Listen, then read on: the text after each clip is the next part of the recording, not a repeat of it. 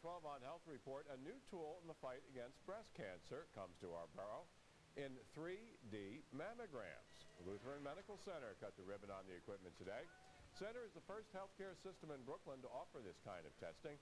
Officials say the 3D mammograms give radiologists the ability to identify and characterize individual breast structures without the confusion of overlapping tissues. It means a more accurate mammogram. A more accurate mammogram, false positive biopsies, uh, just a better experience all around. Center says the purchase of the equipment was made possible through the help of city council members. In other health news,